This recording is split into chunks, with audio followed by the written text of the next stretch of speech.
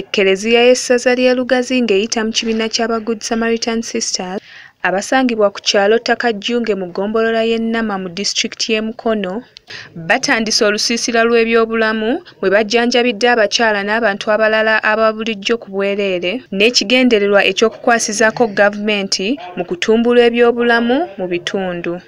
Abawulidde ku mukolo guno nemujja sisita byeyategese bikyajja ng'olusiisira luno terunnatandika wasooseewo ekitambiro kya mmisa nga kino kikulembeddwa mu father everest kateregga okuva ku st paul catholic parish mukono. Ng'ono alabudde abakyala obutamalagamira ddagala nga tebasoose funa kulabulwa okuva eri abasawo abakugu. Awo nno bwe bukulu bw'abasawo omukama abatuwa wadde tusobola okutuuka gy'ali era nga yawonya byonna naye atuteerawo bantu bannaffe. Omukama atukwatako ng'ayita mu bantu bannaffe. Atufaako atwekebejja atujjanjaba ng'ayita mu muntu munno. Ye sister josephine babazi nga yakulira eddwaliro lya good samaritan sisters agamba nti bagezezzaako okutalagga mu bitundu by'emukono okukunga abakyala okujjumbira amalwaliro bafune obujjanjabi wamu n'okuzaala ab'omu kitundu kino ekyamazima ebyokuzaalira mu byalo bagenze babivaako.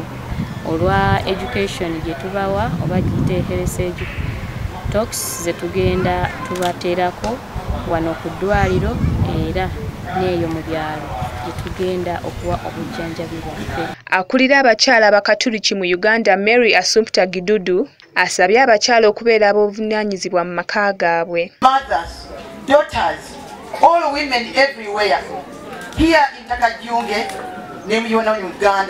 yonna. Ne bagamba empress ya rose today. Empress ya rose kitegeeza ki bakyala? Kitegeeza ki?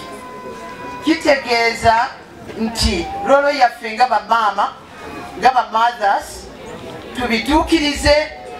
Ate father kizito anthony ye asabye okukuuma obutonde bw'ensi okulaba nga tebabusaanyaawo yigirize na yonna gye tubeera n'abaana tubayigirize. Bamaama banyabo mwe musinga okubeera n'abaana. Tubayigirize.